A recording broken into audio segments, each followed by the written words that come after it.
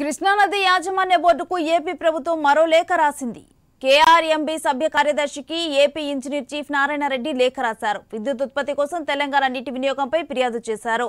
కృష్ణానది యాజమాన్యం బోర్డు నుంచి అనుమతి లేకుండా వినియోగిస్తుందని ఫిర్యాదు చేశారు. తెలంగాణ ప్రభుత్వం శ్రీశైలం ప్రాజెక్టులో విద్యుత్ ఉత్పత్తి చేస్తుందని తీవ్ర అభ్యంతరం వ్యక్తం చేశారు. అలాగే ఇప్పటి వరకు శ్రీశైలం ప్రాజెక్టుకి పదిహేడు పాయింట్ మూడు ఆరు టీఎంసీల నీరు రాగా అందులో ఆరు పాయింట్ తొమ్మిది టీఎంసీల నీటిని తెలంగాణ వాడివేసిందని ఆ లేఖలో పేర్కొన్నారు.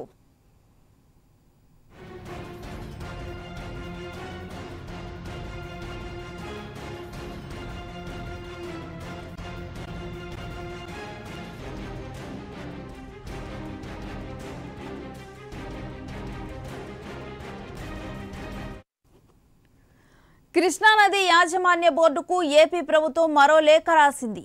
కేఆర్ఎంబీ సభ్య కార్యదర్శికి AP engineer chief Narayana Reddy లేఖ రాశారు. విద్యుత్ ఉత్పత్తి కోసం తెలంగాణ నీటి వినియోగంపై ఫిర్యాదు చేశారు. కృష్ణానది యాజమాన్య బోర్డు నుంచి అనుమతి లేకుండా వినియోగిస్తుందని ఫిర్యాదు చేశారు. తెలంగాణ ప్రభుత్వం శ్రీశైలం ప్రాజెక్టులో విద్యుత్ ఉత్పత్తి చేస్తుందని తీవ్ర అభ్యంతరం వ్యక్తం చేశారు. అలాగే ఇప్పటి వరకు శ్రీశైలం ప్రాజెక్టుకి పదిహేడు పాయింట్ మూడు ఆరు టీఎంసీల నీరు రాగా అందులో ఆరు పాయింట్ తొమ్మిది టీఎంసీల నీటిని తెలంగాణ వాడివేసిందని ఆ లేఖలో పేర్కొన్నారు.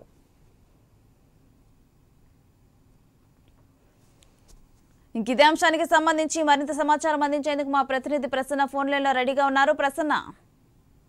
అంటే ఓవరాల్గా ఈ కృష్ణా రివర్ మేనేజ్మెంట్ బోర్డు ఇష్యూకి సంబంధించి అదేవిధంగా తెలంగాణ ఆంధ్రప్రదేశ్ మధ్య ఉన్న నీటి కేటాయింపులకు సంబంధించి ఈ లేఖల పరంపర ప్రధానంగా కొనసాగుతుందని చెప్పుకోవచ్చు. అందులో భాగంగానే ఈ రోజు ఈ లేఖ రాయడం కూడా ప్రధానంగా జరిగింది. అయితే దీనికి గల కారణాలు ఏంటి అనే దాని మీద తెలంగాణ అటు ఆంధ్రప్రదేశ్కు సంబంధించి నీటి కేటాయింపుల విషయంలో ఇద్దరి మధ్య మాటల విమర్శలు అదేవిధంగా మాటల యుద్ధాలు కూడా జరుగుతున్నాయి. కృష్ణానది యాజమాన్య బోర్డుకు ఏపీ ప్రభుత్వం లేఖ రాసిన సారాంశం ఏంటంటే విద్యుత్ ఉత్పత్తి కోసం తెలంగాణ నీటి వినియోగం ఎక్కువగా ఉంది. దీన్ని కట్టడి చేయాలనే ఉద్దేశంతో ప్రధానంగా ఈ లేఖ రాయడం జరిగింది. దీంతో పాటు కృష్ణానది యాజమాన్య బోర్డు నుంచి అనుమతి లేకుండా వినియోగిస్తోందని కూడా ఫిర్యాదు చేశారు. తెలంగాణ ప్రభుత్వం శ్రీశైలం ప్రాజెక్టులో విద్యుత్ ఉత్పత్తి చేస్తోందని తీవ్ర అభ్యంతరం వ్యక్తం చేస్తూ లేఖ రాయడం జరిగింది. ఇప్పటివరకు శ్రీశైలం ప్రాజెక్టుకు పదిహేడు పాయింట్ మూడు ఆరు టీఎంసీల నీరు రాగా అందులో ఆరు పాయింట్ తొమ్మిది టీఎంసీల నీటిని తెలంగాణ వాడుకుందని ఈ లేఖలో స్పష్టంగా చెప్పడం జరిగింది. అంటే